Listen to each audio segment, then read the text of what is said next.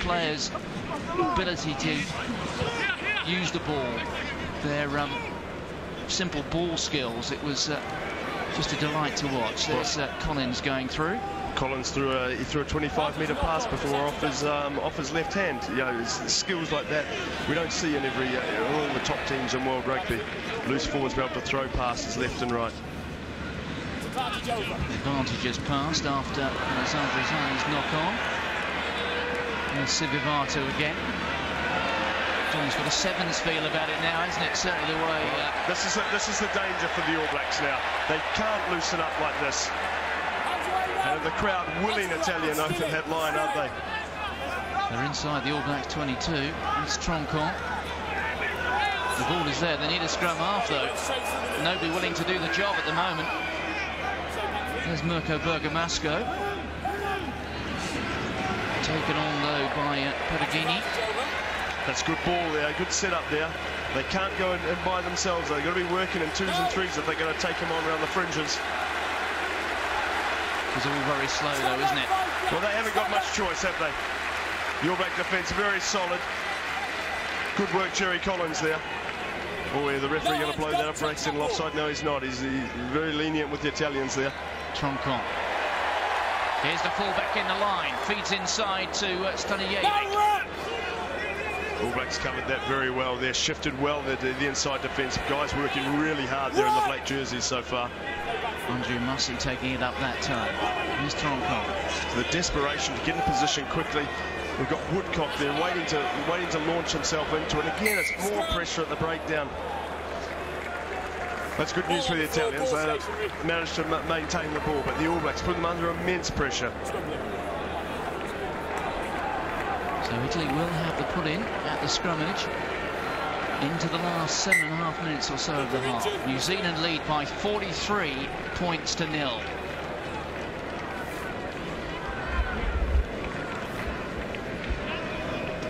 Just have a look at the All Black work at the breakdown there. One tackler and one guy in to compete for the ball. The others get out of the way and take up the width of the field. First thing they do is seal off that ruck area, making sure that there's no, no little holes for Troncon to go into. As we come back there, that was the mark called earlier by um, Leon MacDonald because he had one foot inside the 22 and uh, 80 metres after. Sivivatu, seven points, or five points. It was the conversion missed by Carter.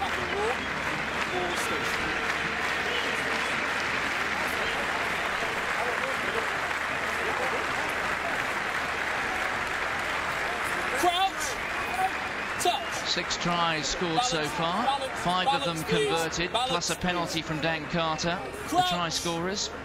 Sivivatu, he scored two. McCaw scored the first two, one each to Doug Howlett and Mils Muliaina. Good scrum, Italy. Andrea Masi held up. Again, the inevitable tackler, Richie McCaw. Troncon quickly through the hands there of uh, the captain, Bortolami. That's a ball. That's a ball. Just dig it out. Thank you. That's the All Blacks 22. Troncon continues to work the short side. Castrogiovanni doesn't even get up to the gain line there. Great hit there by Byron Kelleher coming in over the top of Giovanni. Castrogiovanni then again, just look at that. This All Black defence working incredibly hard. The organisation very impressive. Look at this, right in behind. And De Marigny with a chip and chase. Neil MacDonald with the catch and then the uh, disapproving look. Well, I thought this was going to be an area where the All Blacks in the past had proved shown to be a little bit suspect, but uh, today they're covering, they're covering everything. Absolutely no no weakness there and behind the line at the moment. It's an interesting kick. It's McAlister. Straight down Route 1. Picked up by David Bortolussi, the fullback. Ryan Carrier in there, but Bortolussi claims it for the Italians. Troncon, De Marigny. They're just too flat. They're too flat. There's no depth on the play. That's Parisse. So'oialo coming right at the top there. The referee's got to penalise him there. Yeah, certainly coming right over the top there. Italians just need to take a little more depth in their play. Everyone's in the same line at the moment. As we have a look here, if he holds his position or you look at this, he's just fallen over, but you look at the position, the body position of Richie McCaw, very strong, solid position there. Very hard to move from that position when he's got that wide base, putting pressure on the ball. Very difficult to clear out. It up to within 10 metres of the New Zealand line. Fabio Ongaro.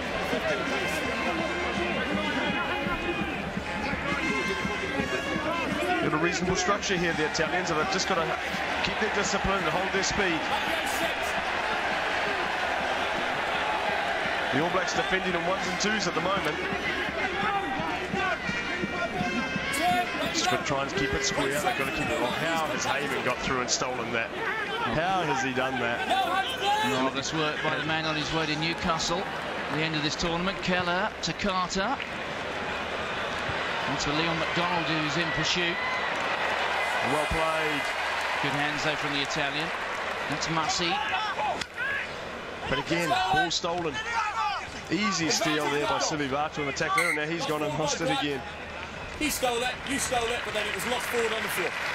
Sorry, Well, summed up there by uh, the referee, Wayne Barnes.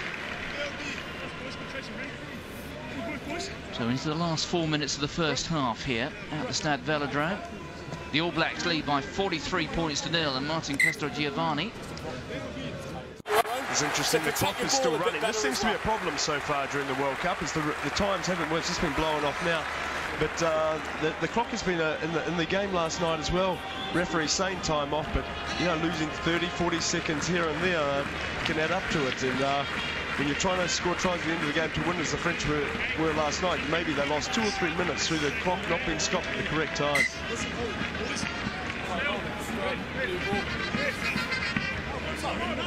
Wayne Barnes just indicating that the clock can start running again.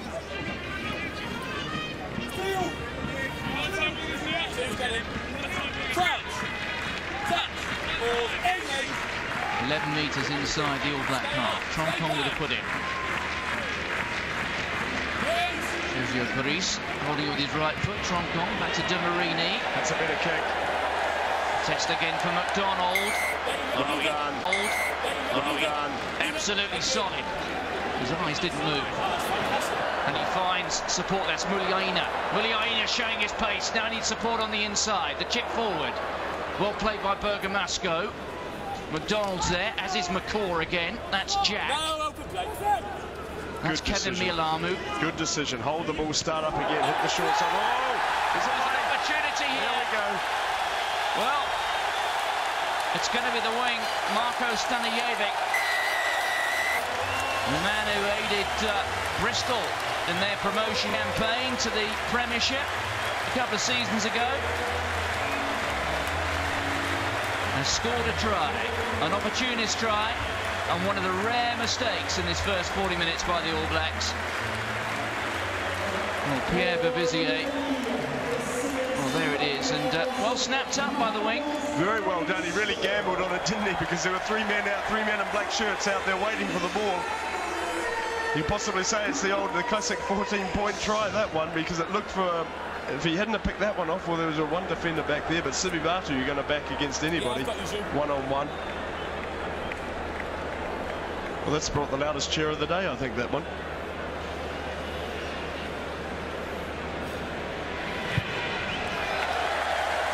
Bortolussi adds the points. So the Italians on the stroke of half-time are on the board.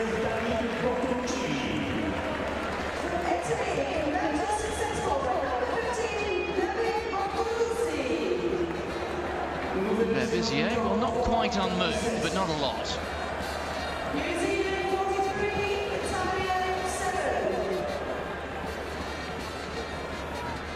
Just a minute or so to half-time.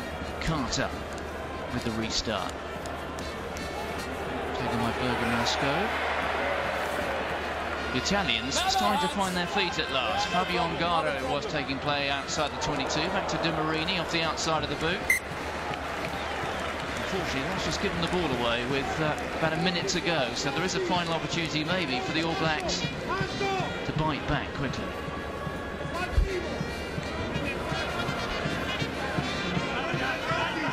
The All Blacks would like to go into the half certainly, having uh, given the last last action, last uh, points on the board before half time. Lineout's been good so far for the All Blacks. Uh, been impressed with Milam who's throwing. He's, he's changed his technique certainly. Um, since the Tri Nations. So there we go. We've talked that one up and we've gone and lost it. But um, that scrum half did not 7 KE. That was intended for uh, Rodney So'oialo. Italy are penalised. And Sergio Parisse. Wait, take, wait, take, take. Go tap, please. Go tap, Susan. It's almost certainly the last move of the first half. Kelleher to Collins. Wayne Barnes wants them back. Thanks, Kelleher. Taken forward by McCourt. strong tackle on McCaw there, but he is excellent in that contact area. Well taken on again by Collins. Gallagher to uh, going through there is McAlister taking play inside the 22. His. Kelleher again. Ali Williams lost forward in the tackle. Picked up by Parisse. Half time. The whistle goes for half time. And what a first 40 minutes it's been for the All Blacks. 20 years since they won the World Cup. But look at the score there, 43 points to 7. And Simon, I suppose it would be a statement of the obvious, but they are pretty good value for that lead. Oh, they certainly are. They've been outstanding. Just watching the body language of the All Blacks coming off here at half time, jogging off, keen to get into the into the changing room to get uh, chat things through, make a few adjustments. They've got to tighten things up again in the second half. As we said, they're trying to play a little bit sevens, gets a little bit loose. That's not how they got to to play the second half. Henry will be demanding they keep things tight. They go back to doing the basics well.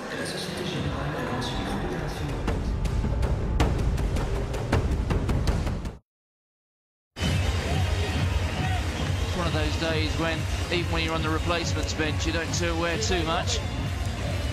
Carl Hayman, tight head prop, could prove to be one of the real stars of this tournament. Sorry, Martin, I haven't gone too far away. I've got a bit of shade in the second half, so pretty happy about that. The All Blacks, all their substitutes doing some pretty um, serious warm-ups at the moment in the technical area in front of me. And the Italian fans, you mentioned, um, they're very much behind their side when Italy started to improve in that first half. There's a big Italian community in Marseille, and we're only about two or three hours from the Italian border. I reckon they've got about 70 or 80% of the support in this stadium, so they can rally a bit in this second half. It could be interesting. So Wayne Barnes gets the second half underway. Roland De Marigny kicking deep. Kelleher. And utilising McAlister in that position there, and that's excellent kick-off work. You know, good set-piece work there from the All Blacks. McAlister has played a lot of his rugby with 10 on his back. And that's uh, David Bortolussi. Already through the century of points in uh, international rugby, Bortolussi. Then Mealamu will throw in at the line. Just wait, he's right on top of the lineup.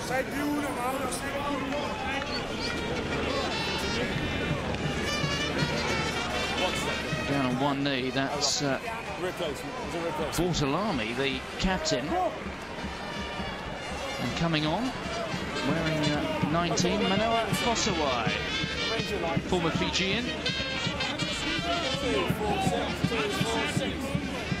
Watch on, please.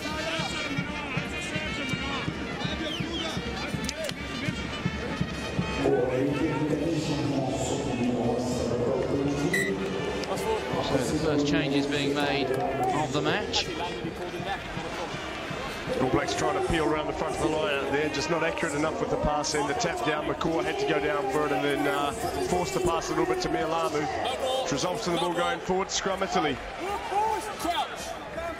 We've seen a couple of changes there, Matt. Any details on the injuries? No, it uh, wasn't easy to see. It looked like Alessandro Zanni has a thigh problem. He's hobbled off. And also the prop Salvatore Perugini are going, going off. So two changes in the Italy pack. Well, now Temper's getting frayed. Carl Hayman, you can see there, eyeballing one of the Italians. Relax, gents. Home man. Watch stop. No problem. We've seen it. Okay. Blue, just, just second back.